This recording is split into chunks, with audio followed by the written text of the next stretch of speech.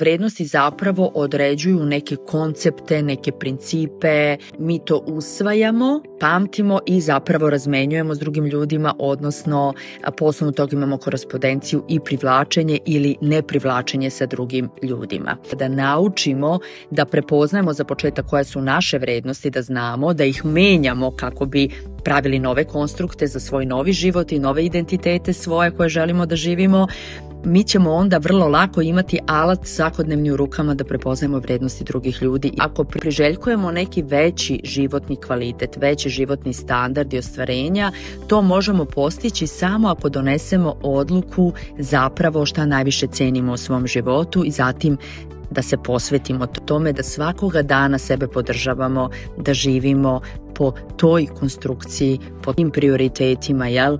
po tim zapravo životnim vrednostima. Nažalost, mnogo ljudi uopšte nema jasnu predstavu o tome šta im je važno.